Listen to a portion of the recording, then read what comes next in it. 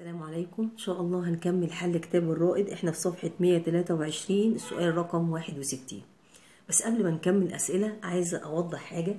إن أنا لو عندي مجال ممثل بال- بالخط بالقلم اللي باللون الأزرق هفترض إن ده المجال.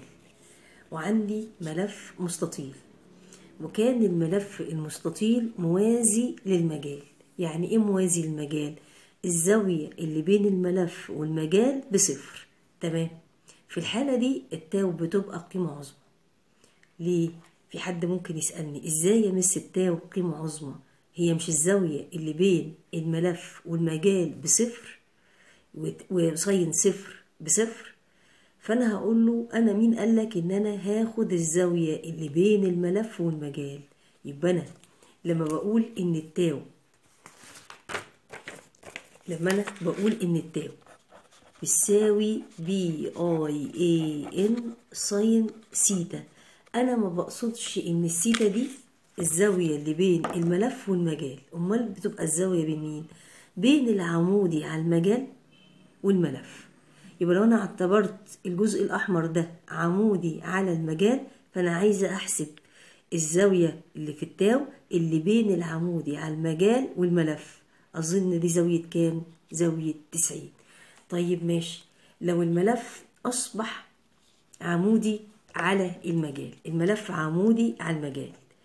الزاوية اللي بين الملف والمجال بتسعين بس مش بستخدم الزاوية دي لأن في التاو بستخدم سيتا تانية. سيتا بين مين ومين؟ بين العمودي على المجال والملف. يبقى أنا باخد الزاوية دي. اللي باللون الأحمر والورقة في انطباق يعني الزاوية دي بصفر. فأنا بتعامل في الحالة دي على إن السيتا بصفر وبالتالي ال tau هيبقى بصفر. يبقى في عزم الازدواج عندي زاوية. الزاوية دي ليست بين الملف والمجال ولكنها بين العمودي على المجال والملف أو العمودي على الملف والمجال. طيب لما يجي الملف يدور تفرق الزاوية على حسب هو دار من أنهي وضع. لو هيدور من وضع الصفر تاخد الزاوية كاملة. لو الملف ده هيدور من وضع الصفر تاخد الزاوية كاملة. يعني إيه من وضع الصفر؟ هو ال- التاو بتبقى إمتى بصفر؟ لما بيكون الملف عمودي. تمام؟ يبقى كون إن الملف عمودي ده اللي أنا بسميه وضع الصفر. تمام؟ يبقى لو الملف هيدور من الوضع العمودي يعني من وضع الصفر لأن الملف لما بيكون عمودي بتبقى التاو بصفر. تاخد الزاوية. يبقى الدوران من وضع الصفر لو دار من الوضع العمودي 30 خد ال 30 لو دار من وضع ال 40 خد ال 40 لو دار من الوضع العمودي 60 خد ال 60 يبقى ده اسمه دوران الملف من وضع الصفر. الصفر بالنسبة للملف هو لما بيكون عمودي. طيب لو عايز يدور الملف من الوضع الموازي الوضع الموازي بيكون الملف محقق زاوية قيمتها 90 أساسا. لكن لما يجي يدور من وضع الموازي ما تاخدش الزاوية خد المتممة لها. فلو هو دار من الوضع الموازي 30 هتعامل على إن السيتا ب 60 طب لو دار من الوضع الموازي 60 هتعامل مع إن السيتا اللي جوه ال tau بال- بالمتممة ليها. يعني هقول 90 ناقص سيتا طيب ماشي. نشوف السؤال ده. ملف كما بالشكل. السؤال رقم واحد وستين. ملف كما بالشكل يدور في مجال كثافته B حول المحور فإذا كان الملف يصنع زاوية مع المجال سيتا تكون الزاوية التي يجب أن يدور بها حتى ينعدم عزم الازدواج. طيب ماشي. إمتى بينعدم عزم الازدواج؟ بينعدم عزم الازدواج لما يكون الملف عمودي. طيب والملف ده عامل إيه؟ الملف ده عامل زاوية سيتا. محقق زاوية سيتا. طيب ناقص له قد إيه ويبقى عمودي؟ على حسب. على حسب الملف ده. الملف ده لو هيبقى يتحرك لأسفل هيبقى فاضل له قد إيه عشان يبقى عمودي؟ هيبقى فاضل له 90 ناقص سيتا لأنه محقق سيتا. ما هوش موازي محقق سيتا. فلو هو هيتحرك بالشكل ده يبقى فاضل له 90 ناقص سيتا. طيب أرجع تاني. هو ممكن لو الملف لو الضلع ده هيتحرك لأعلى يبقى ساعتها الملف ده هيحتاج إنه يمشي الجزء ده عشان يبقى م... السيتا دي عشان يبقى موازي وبعدين يرجع يشتغل تسعين عشان يبقى عمودي. يبقى في احتمال إنه يبقى تسعين ناقص سيتا أو تسعين زائد سيتا. هقولها تاني. الملف ده عامل زاوية قيمتها سيتا ليه بقى؟ لأن هنا الخط مش باين الخط ده مش باين. ده معناه إن الجزء ده مغطي على الخط. والجزء ده منخفض. يبقى ده شكل الإيه؟ الملف. طيب لو الضلع ده هيكمل نزول لأسفل وده هيطلع لأعلى يبقى ساعتها الملف هيدور 90 ناقص سيتا ويبقى عمودي. وساعتها تنعدم عنده عزم الازدواج. طب أرجع تاني. افرض الضلع ده هيرتفع لأعلى والضلع ده هينخفض لأسفل. ساعتها محتاجين ندوره السيتا عشان يبقى موازي وكمان 90 عشان يبقى عمودي.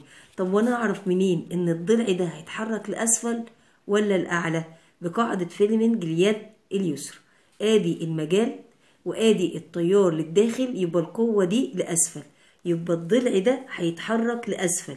أدام هيتحرك لأسفل هرجع تاني أهو.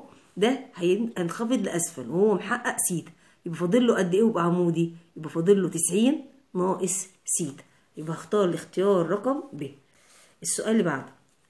في الشكل المقابل ملف مستطيل موضوع في مجال ومتصل بمصدر تيار مستمر اتجاه الدوران. لو أنا عندي الملف أهو لو الملف دون موجود في مجال فممكن يدور بالشكل ده. لو دار بالشكل ده يبقى اسمه دوران مع عقارب الساعة. طيب لو دار بالشكل ده يبقى اسمه دوران عكس عقارب الساعة. طب مين اللي هيعرفني الدوران؟ هيبقى مع عقارب الساعة ولا عكس عقارب الساعة؟ القوة اللي بتأثر على الضلع ده والقوة اللي بتأثر على الضلع ده. تعالوا نحسبها. ممكن أركز مع الضلع ده. الضلع ده أهو ده اتجاه التيار فيه للداخل وده للخارج. طيب آدي المجال. وادي اتجاه التيار للداخل وده هيتأثر بقوة لأسفل طيب ونشوف هنا آدي المجال وادي التيار للخارج يبقى ده هيتأثر بقوة لأعلى. طيب آجي بقى هنا على الشكل ده وأقول ده هيتحرك لأسفل وده هيتحرك لأعلى. يبقى أشد ده لأعلى وأنزل بده لأسفل يبقى ساعتها هيدور بالمنظر ده. طب يا ترى الدوران ده اسمه إيه؟ اسمه عكس. عقارب الساعة. يبقى أنا هختار الاختيار رقم ب عكس عقارب الساعة. السؤال اللي بعده يتوقف عزم ثنائي القطب على إيه؟ عزم ثنائي القطب ام دي اللي هو عبارة عن ايان اي في اي في ان يتوقف على اتجاه التيار بس والقانون خالي من البي يتوقف على اتجاه التيار في الملف بس. طيب يتوقف اتجاه عزم الازدواج المؤثر على الملف على إيه؟ لا ده إحنا بنستخدم كل ضلع بنشوف بيتأثر بقوة شكلها إيه؟ عن طريق التيار وعن طريق المجال عشان نشوف هيتحرك مع عقارب الساعة ولا عكس عقارب الساعة زي السؤال اللي فات. وكمان إن ال tau بتساوي BIAN. يبقى أنت فيها ال B وفيها ال I اذا هي بتتوقف على اتجاه التيار واتجاه المجال الاتنين مع بعض. طب السؤال اللي بعده؟ يبين الشكل المقابل منظر جانبي لملف مستطيل يمر به تيار موضوع في مجال وبيتأثر بعزم ازدواج tau. أي الأوضاع التالية تجعله يتأثر ب tau على اتنين. كيف تتحقق tau على اتنين؟ لو أنا استخدمت القانون BIAN وقلت sine 30 sine 30 يعني بنص فيبقى إن إحنا عندنا ال tau عبارة عن BIAN على اتنين يعني نص القيمة العظمى. طيب تمام. يبقى الملف هيبدأ يدور. ده الوضع الأصلي بتاعه. هو بقى في الوضع الموازي ولا في الوضع العمودي؟ في الوضع الموازي. طيب يدور قد إيه عشان يصنع التلاتين؟ أدام هتدوره من الوضع الموازي فأي زاوية هيدورها من الوضع الموازي مش هستخدمها في القانون. طيب أنا عايزه أستخدم إيه في القانون 30 يبقى أوعى تدوره بزاوية 30 لأنه لو دار من الوضع الموازي زاوية 30 مش هاخد ال 30 وهاخد المتممة ويبقى معايا في القانون ساين 60 وساين 60 مش بنص. طب أعمل إيه؟ يبقى يدور من الوضع الموازي زاوية 60 لأنه لما هيدور من الوضع الموازي 60 مش باخد ال 60 باخد المتممة ليها اللي هي مين؟ اللي هي 30 وساين 30 هي اللي بنص. يبقى الاختيار رقم د يبقى أدام هتدوره من الوضع الموازي فأنا هختار إنك تدوره من الوضع الموازي 60 لأنه لما بيدور من الوضع الموازي وباخدش الزاوية باخد المتممة ليها وبالتالي أنا مش هتعامل مع الستين هتعامل مع التلاتين في القانون اللي هتجعل لي التاو بنص القيمة العظمى. طيب ماشي نشوف السؤال اللي بعده. ملف مستطيل موضوع موازي للمجال. خارجي ويمر به تيار فإذا دار الملف زاوية 30 هقول له استناني بقى الملف دلوقتي موازي فأنت عايز تدوره بزاوية 30 يبقى أنا مش هتعامل مع ال 30 في القانون هتعامل مع الستين. هقول BIAN sine ستين. يبقى اللي هيلاقي صعوبة في الأمر ده يتخلص منها بإنه يسجل الملحوظة في ورقة ويدبسها في الدرس. مين هي السيتا وممكن تقع فيها إزاي؟ أي تدوير للملف من الوضع الموازي ما تاخدش الزاوية اللي دار بيها خد الزاوية المتممة لها. عشان هو قال لي دور من الوضع الموازي 30 فأنا مش هستخدم ال 30 هستخدم ال 60 وأجرب الستين بالآلة الحاسبة. هلاقي ما هو ال BIAN ده هي دي tau max. ال sine ستين بكام بقى؟ بجذر تلاتة على الاتنين. طيب في هنا جذر تلاتة على الاتنين مرتين. مرة تزداد إلى ومرة تقل إلى. فأنا هختار تقل إلى ليه؟ لأنه كان في الوضع الموازي فكان محقق القيمة العظمى. فلو هيدور من الوضع الموازي يبقى القيمة العظمى اللي كان فيها هتقل. هتقل بقد إيه بقى؟ هتبقى جذر 3 على 2 لأن أنا عرفت الزاوية اللي هيدورها.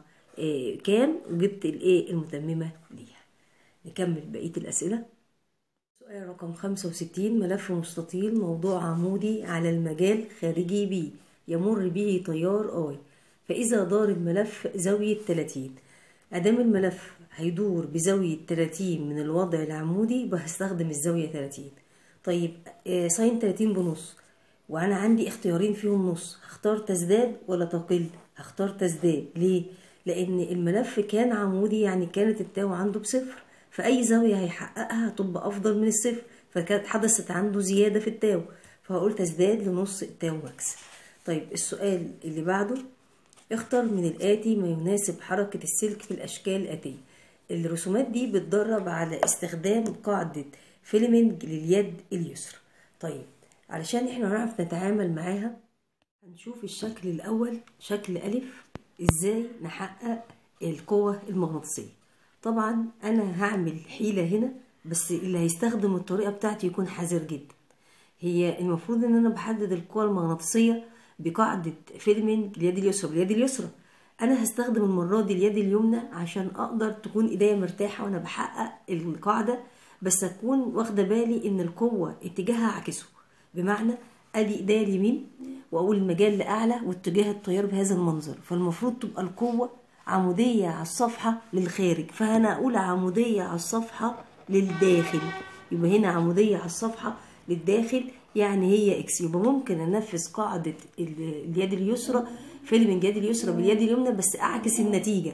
طبعا المفروض إني لو هستخدم اليد اليسرى مش هقدر أظهرها تحت الكاميرا فأنا استخدمت قاعدة استخدمت القاعدة بس بإيد اليمين وعكست النتيجة.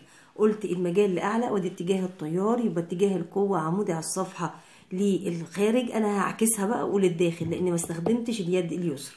هشوف الرسمة التانية. الرسمة التانية سهل إن أنا أظهرها فهستخدم اليد اليسرى عادي. هقول المجال عمودي على الصفحة للداخل والتيار لأعلى يبقى هنا القوة جهة اليسار يبقى هنا اتجاه القوة. هشوف الرسمة اللي بعدها المجال لأعلى المجال لأعلى والتيار جهة اليمين. تبقى إحنا عندنا هنا القوة عمودية على الصفحة للخارج. هقول هنا عمودي على الصفحة للخارج يعني نقطة. نشوف الرسمة اللي بعدها. المجال أدي المجال. وادي اتجاه التيار يبقى هنا القوة عمودية على الصفحة للداخل. يبقى هنا القوة عمودية على الصفحة للداخل. طيب هنيجي هنا. المجال لأسفل والتيار خارج من الصفحة يبقى القوة جهة اليمين. يبقى هنا اتجاه القوة اليمين. هنا السلك بيوازي المجال فلا توجد قوة لا يتحرك. طيب هنا المجال لأعلى والتيار خارج من الصفحة يبقى التيار المجال لأعلى والتيار خارج من الصفحة يبقى هنا القوة جهة اليسار. طيب هنا المجال في هذا الاتجاه وهنا التيار عمودي على الصفحة للداخل إذا القوة اتجاهها لأسفل. يبقى هنا لأسفل نشوف الأسئلة النظرية. في امتحان مصر 2016 قارن بين قاعدة أمبير لليد اليمنى وقاعدة فيلمنج يد اليسرى. قاعدة أمبير لليد اليمنى بتحدد اتجاه المجال الناتج عن مرور تيار في سلك أو ملف دائري أو ملف لولبي. أما قاعدة فيلمنج اليد اليسرى بتحدد اتجاه القوى المغناطيسية المؤثرة على سلك يمر به تيار وموضوع في مجال. طيب اذكر العوامل توقف عليها القوى المغناطيسية المؤثرة على سلك يمر به تيار كهربي وموضوع داخل مجال. هنقول F بتساوي B I L sine theta هقول كثافة الفيض شد والعلاقة طردية شدة التيار والعلاقة طردية طول السلك والعلاقة طردية وال theta sine theta والعلاقة طردية حيث أن السيتا هي الزاوية اللي بين السلك والمجال. اذكر عامل واحد يتوقف عليه عزم ثنائي القطب شدة التيار. آه ما الوحدة المستخدمة لقياس عزم ثنائي القطب؟ هقول ال md بتساوي IAN طيب مين الوحدة المستخدمة؟ أنا هقول إن وحدة شدة التيار آه الأمبير ووحدة المساحة متر مربع. يبقى هقول أمبير في متر مربع. طيب ماشي. اذكر وحدتين لقياس عزم ثنائي القطب. هنقول وحدة لسه إحنا قايلينها أمبير في متر مربع.